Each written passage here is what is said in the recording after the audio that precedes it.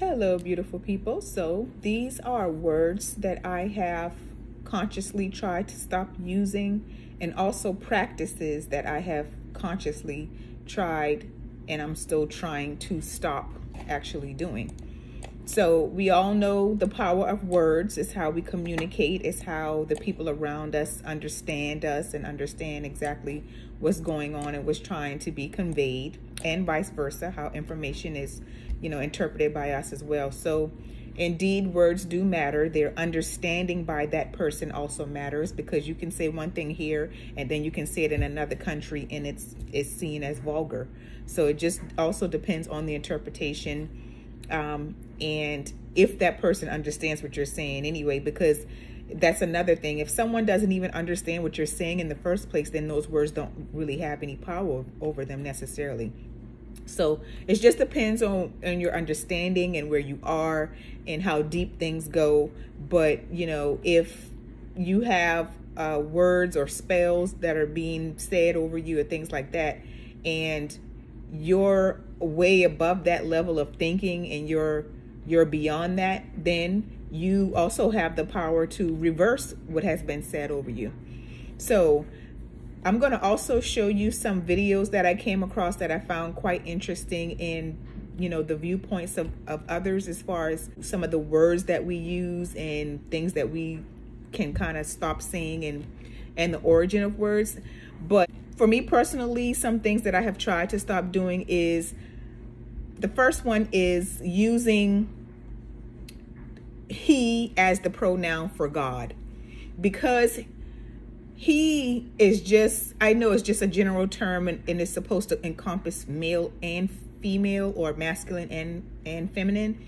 However because i know that he is more than what we could ever imagine and see. I'm saying he again because it's just been so subconsciously ingrained in us to say he.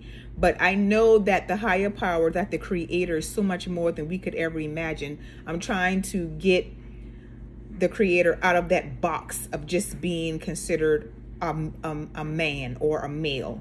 You understand? Uh, so, like I, that's the first thing I'm trying to get from using the he pronoun all the time for our higher power. The second one is just the word God in itself. I have consciously stopped using God um, because God is a title like president and CEO. There are many there are many different gods. So that's not a name, it's a title. So I try to be more specific about the actual God that I am talking about because there are many.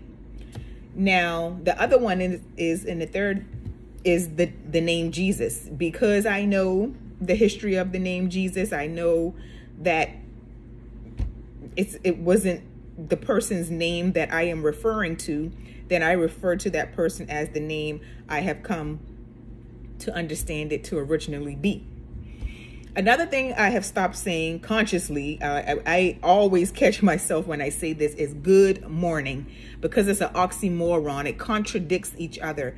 Uh, to say good morning, it doesn't matter how it's spelled or whatever the case may be, which is spelled the same, but I don't want to have good mourning. I'm not in mourning. I want to be out of mourning. I don't ever want to mourn or be sad, even though I know it's a part of life. But if I'm not in mourning, I don't want to have a, a, a good morning. And I don't want to say good morning to anyone else. So for the past year or even year and a half, I have been saying good day.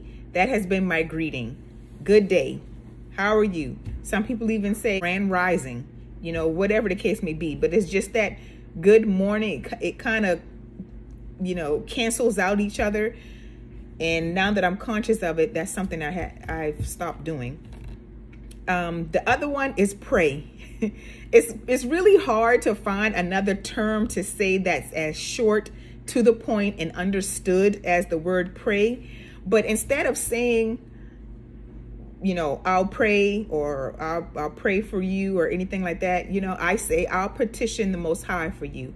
I'll most definitely be speaking for, you know, a positive outcome for you, you know, or the will of the creator over you. It's a longer way and longer version of saying it, but it's for me it's better than pray because I even though I know it's spelled differently, it's it it it's just the wording of it and the fact that it could have a double meaning. And that's the thing about English is that so many words can have a double meaning and opposite meaning depending on how you use it, when you use it, where you use it, and it has a different spelling. Some words have different origins even though they may sound the same. It's just it's just really uh complicated a complicated um language. And i have heard some people even say that english is one of the hardest ones to learn and to grasp and um the last thing is the fact that i i try not to promise people anything. I do not like to promise anyone anything. This is not a particular word. This is, like I said, one of the practices that I'm trying to stop doing. And it, it's because it's because if I promise someone something and I end up not being able to do it, then effectively I have lied. I've lied to them because I promised them you know, a promise is I am going to do this. It is going to get done. You can count on it. You can bet it, bet on it. But if I tell them something that I'm going to do without a doubt it's going to happen and then I am not able to do it, then I I have told the untruth. So I do not like to tell promises to people. The words that I use instead is I will do my best. I will try. Um, I will see what happens. You know, it's my intentions to do it, but if not, I will let you know. Things like that. Sometimes you have to add a little bit more wording in it. It's more drawn out, but you have to make it very clear of your intentions and what it is you know you're trying to convey and what you're trying to say to people. Another thing that I wanted to add is not only do you have to be conscious of what it is you're saying, you have to be conscious of what it is you're accepting other people saying over you if people are speaking negatively over me, or if they're saying something that I do not want, something that is negative, I either go ahead and I rebuke it, or I say, I cast that down. I do not accept that. And I either say it loudly out to that person, or I say it loudly out into the atmosphere where it can be said, or I say it to myself so that I am not accepting those words or those phrases over myself or over my life as well. So again, be conscious of what it is you're putting out and be also very conscious of what it is you're accepting over you. So yeah, that's just my few cents about, you know, words that I'm trying to stop using and actual practices that I'm trying to stop doing um, because words do have meaning and you also want your words to match your actions and your actions to match your words. So also I'm going to show you these couple of videos and you all just tell me what you think. Tell me some phrases or things that you've stopped saying and why. And thank you all for watching. Seven words. Rastaman, Nyabingi man, Bingi man, Bobo man, 12 tribe man, ancient man, shouldn't say. Linguistic language latitude. Word song is power. So be careful of words that you say because they can bring spells to you and to your family. Linguistic language latitude. Meditation of Jamaican I, Rastafari, I and I in Belize. Number one, we greet ones and say hello. Hell is low. Why we can't say greetings or my beloved, beloved, blessed. Number two, appreciate. In the same word song you have hate. Why can't we say appreciate love or love for kid? Appreciate love, love for kid, not appreciate. Number three, morning. In the same word, why can't we say morning? Why we say morning? We are mourning for someone dead. We must say grand rising grand rising. Number four, dedicate. In the same word, you hear the pronunciation dead. And we want to create something where we can enlighten or uplift one. So we say livicate or I as idicate, livicate, not dedicate. Five, oppress. In the same word song, word song like UP up, but at the same time create a word song as don't press. We say don't press ah, like Peter that say don't press a man, right? Sixth word, sincere, sincerely. In the same word song, you hear the word sin, I sincerely, or I sincerely, instead of sincerely, sincerely, or I sincerely. Number seven, understand. Right? We always have to be under, negative, under. We must say over or overstand, overs or innerstand or iverstand. Seven words a Rasta man, Rasta woman, Rasta family shouldn't say within their surrounding linguistic language latitude. So tune in to Lion Eye View TV. Subscribe and share.